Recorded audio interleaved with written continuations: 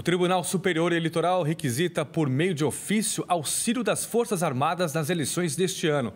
Os militares irão ajudar a garantir a votação em locais específicos definidos pela Corte Eleitoral. Os candidatos seguem percorrendo o país buscando aí convencer os eleitores que são a melhor alternativa e a gente fica de olho. De olho no voto. Lula e Bolsonaro e Simone Tebet não têm agendas públicas nesta sexta-feira. Ciro Gomes estará em Belo Horizonte para um encontro com empresários. Nesta quinta-feira, o candidato do PDT criticou Lula e Bolsonaro por não se comprometerem a ir ao debate do consórcio de imprensa marcado para 14 de setembro em São Paulo.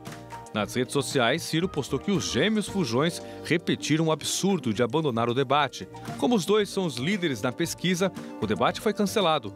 Ciro também criticou a imprensa pelo cancelamento do evento, organizado por composto G1, o Globo, Valor, o Estado de São Paulo, Folha de São Paulo e UOL. Nova pesquisa Genial Quest de intenção de votos para a presidência da República entre os eleitores de Minas mostra queda substancial da vantagem de Lula para Bolsonaro. O Instituto Quest entrevistou 2 mil eleitores presencialmente entre os dias 6 e 9 de agosto.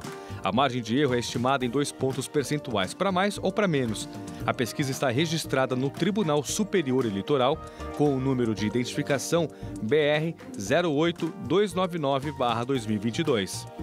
Desde a redemocratização, todos os presidentes eleitos venceram em Minas Gerais.